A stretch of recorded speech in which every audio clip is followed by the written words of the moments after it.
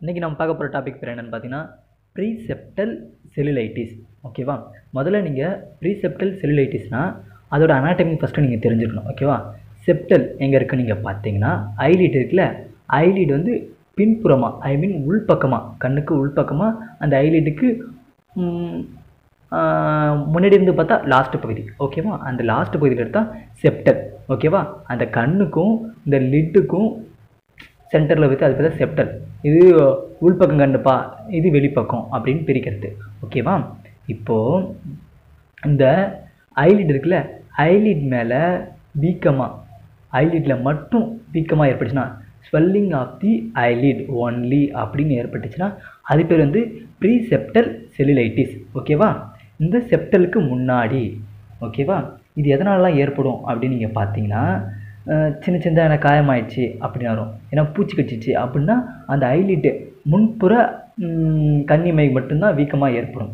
ஓகேவா அக்யூட் ஹார்டிலேயம் அப்படி சொல்ல சின்ன சின்ன கட்டி இந்த சலேஷன் வர்றது இந்த இன்டர்னல் ஹார்டிலேயம் எக்ஸ்டர்னல் ஹார்டிலேயம் அது போல் வருது. கன்ஜென்டிவிட்டிஸ் வந்தால் ஐலிட் வந்து வீக்கமாக இருக்குல்ல? ஸ்வெல்லிங் ஆஃப் தி ஐலிட் அதுவும் ப்ரீசெப்டல் செல்லுலைட்டிஸ் தான். அதுக்கப்புறம் டேக்ரியோசைட்டசிஸ் அப்படின்னா என்னன்னு தெரியல? இந்த என்னது naso lacrimal gland naso lacrimal duct இருக்குல்ல?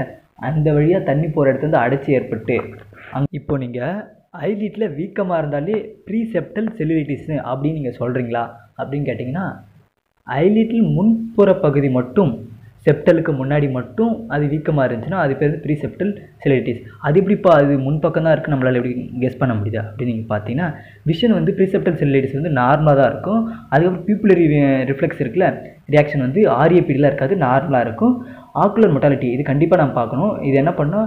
ஹெச்டிஎஸ் உள்ள எல்லா பக்கம் மூவ் பண்ணுறது அதுவும் மூவ் பண்ணி பார்க்கணும். அதுவும் நார்மலாக தான் இருக்கும். இதெல்லாம் நார்மலாக இருந்தால் அது பேர் வந்து ப்ரீசெப்டல் செல்லுலைட்டிஸ் அதுவே இந்த லிட்டும் வீக்கமாக இருந்து கண்ணுக்குள்ளே அடுத்து இருக்கிற கண்ணுக்குள்ளே இருக்கிற பாகமும் வந்து கொஞ்சம் டிஃபெக்ட் ஆகியிருந்தா அது எப்படி நீ கண்டுபிடிக்கிறதுனா இதே போல் தான் விஷன் விஷன் குறைவாக இருக்கும் ஆரியப்பீடி இருந்திருக்கும்.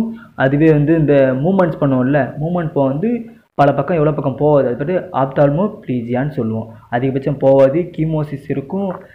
இப்போது ரீசெப்டல் செல்லுலைட்டிஸ்க்கும் ஆர்பிடல் செல்லுலைட்டிஸ்க்கும் டிஃப்ரென்ஸ் நல்லா புரிஞ்சிருக்கும். இப்போ ஒரு பேஷன் வந்து கண்ணில் வீக்கமாக வருது. லைட்டாக பார்த்தோன்னே தெரியுதுன்னா அது ப்ரீசெப்டல் செல்லுலைட்டிஸா ஆர்பிடல் செல்லுலைட்டிஸா கண்ணுக்கு உள்புற பகுதி வரையும் இருந்துச்சுன்னா அந்த ஆக்குலர் மூமெண்ட்ஸ்லாம் போகும்போது ரொம்ப ஸ்ட்ரெயின் பண்ணி ரொம்ப வலிக்குது பார்வை ரொம்ப கம்மியாக இருக்குது ஆரியப்பீடிலாம் இருக்குன்னா அது வந்து ஆர்பிடல் செல்லுலைட்டிஸ் அதுவே எதுவுமே இல்லை. கண் மட்டும்தான் வீக்கமாக இருக்குது அப்படின்னு சொல்லிட்டு இருந்ததுன்னா அது பேர் வந்து ப்ரீசெப்டல் செல்லுலைட்டிஸ் ஓகேவா அந்த செப்டலுக்கு முன்புறம் வந்தால் ப்ரீசெப்டல் அந்த செப்டலையும் செப் ஸ்பெட்டல்லையும் வந்து அது பேர் செப்டலா அச்சோ அவ்வளோவே செப்டல்லையும் வந்து பின்பகுற அந்த பகுதியிலையும் வந்துச்சுன்னா அது பேர் வந்து பேக்டீரியல் செல்லுலைட்டிஸ் ரெண்டும் ஆர்பிடல் செல்லுலைட்டிஸ் ரெண்டும் ஒன்று தான் ஓகேவா இது வந்து ஃபஸ்ட்டு ப்ரீசெப்டல் செல்லுலைட்டிஸ் வந்து அதுக்கப்புறம் வந்து செகண்ட் ஸ்டேஜ் தான் வந்து ஆர்பிடல் செல்லுலைட்டிஸாக வர வாய்ப்பு அதிகமாகவே உண்டு. சரிங்களா?